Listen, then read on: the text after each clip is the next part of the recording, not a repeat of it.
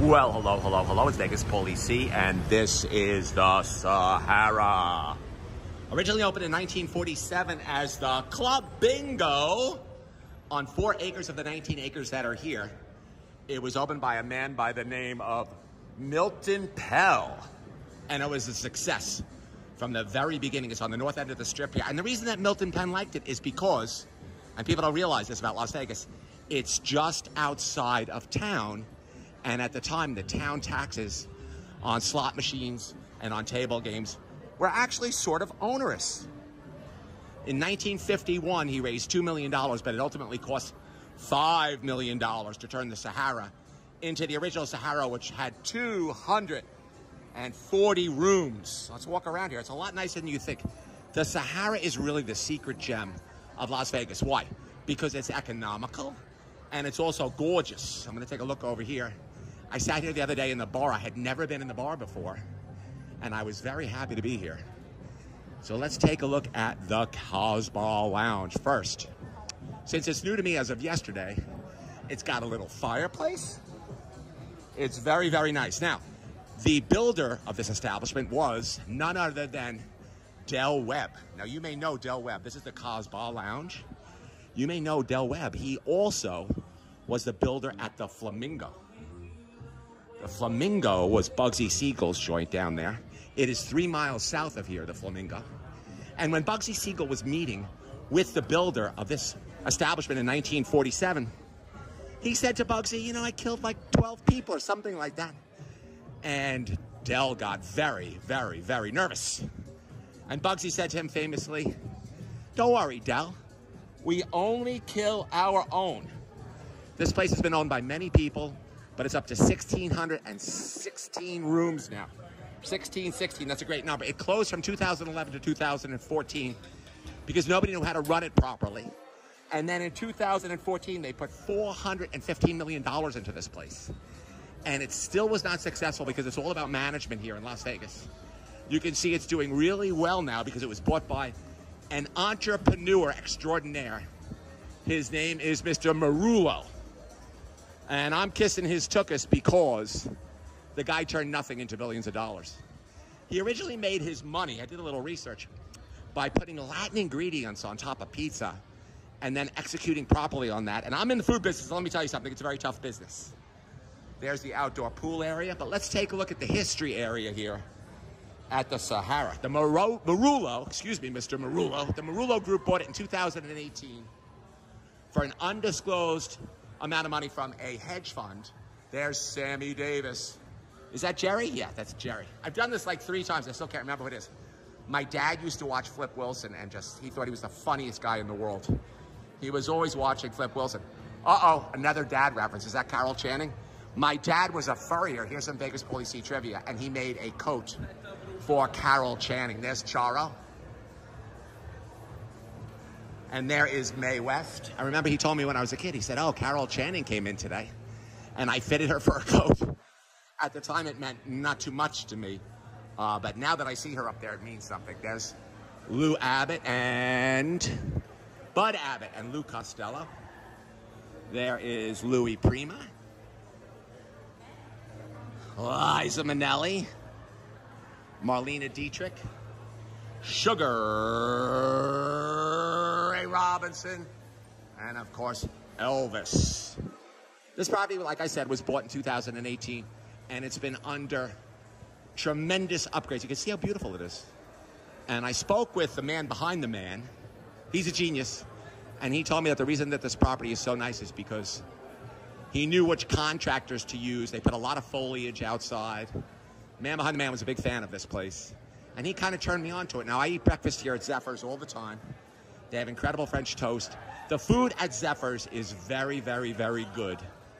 And it is the only restaurant I think I've eaten here. I've never eaten at uh, Chef Andres, which is Bazaar Meats. That's a little out of my price range, unfortunately. I would like to try it maybe someday if I ever make something myself. Here is the check-in. And we'll go back around and maybe we'll walk over to... This is a great place to sit also up here. And maybe we'll go back over to where Chef Andres is. I don't know if you know this or not, but Chef Andres is a tremendous humanitarian. He actually got $100 million from Jeffrey Bezos to do good things. So whenever there's a crisis anywhere in the world, Chef Andreas, I hope I'm saying his name right, he will go and he will set up food tents and cafeterias, and he will feed people during a crisis. So he's what we would call a real mensch. You know what I mean? God, I get to use a little Yiddish, but you know, what other word would you use there? It's such a great word. You know, I don't want to show off my Yiddish, but uh, I mean, it's the perfect word. Mensch. That's what, that's what Chef Andreas is. Let's go over here to the back into the casino and over to the other bar area. Okay, I've had tacos here. They're actually very good. This is Zephyr's. Delicious food. I haven't done a casino walkthrough in a long time, and I gotta tell you, I'm enjoying myself. Let me go back over here to the right. They should really make the Pop Craps 345 over here. By the way, Pop Craps 345 Pop Craps is coming to Little Poker Room, is coming to the Plaza with Jonathan Jossel, August 28th. Jonathan Jossel, one of the most accommodating CEOs in Las Vegas, has agreed to put in 345 Pop Craps. If you made it to the end of this video, you know that Vegas Paulie C, he's a big Pop Craps player. And I'm very excited about that. I will be at the Plaza August 27th for the installation and August 28th for the rollout of three, four, five Pop Craps with Jonathan Jossel. And that's just the beginning of what we're going to be doing over there because he is proactive and engaged and open-minded. If only we had more casino CEOs like him.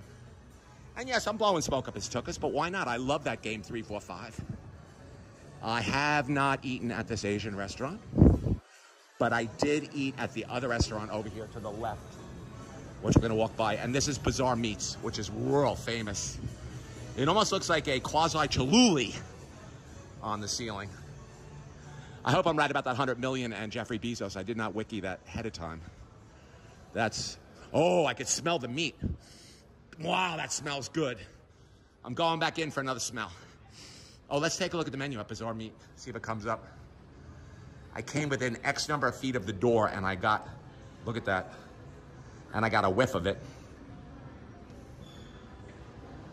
All right, come on, menu, come up now, come on. We have another minute and a half here for our walkthrough. You can only do 10 minutes. Well, let's look at, look at the times. There are the times. There is the chef, Andres. And bring back the menu. Let's get that menu. Let's get that. How many people are going to make the end? Only 2% of people make it to the end of a Vegas Paulie C video. There it is. The classics, the beef tartare, the gazpacho, Lucia salad, buttered potato puree. Ah, very nice. All right, I got to keep going. Oh, so it's $99 for that Bar Centro tasting menu. That's actually not bad at all for Las Vegas. $99 for Chef Andres. I thought it was a lot more expensive than that. I had like hundreds and hundreds and hundreds of dollars in my mind. You see, perception is everything. And I have eaten here, I ate here with Kif Capital. I took him over there for lunch one day. There's the noodle bar. We're on our way outside of the casino right now. Don't sleep on the Sahara. When I first came here like two, two and a half years ago, I didn't know anything about it, and I was ignorant. But I got educated very quickly, and this is my locals casino. It's right down the street from the Allure. They have a William Hill Sportsbook. They should really change over to someone else, you know what I'm saying? But we'll deal with it. Oh, we ate a Chickie and Pete's. That's where we ate. We didn't eat at that place. We had a Chickie and Pete's. Let's go back around to the entrance. I get offers from here all the time for free rooms. But I never take it because ah, I like my apartment over there. So I have not taken the free rooms, but I get a lot of offers. Here is the Players Club. It's right, the Players Club is right on the right. It's called the Infinity Rewards Desk. It's right on the right when you come into the property. Thank you for joining me on this walkthrough. Vegas Paulie C.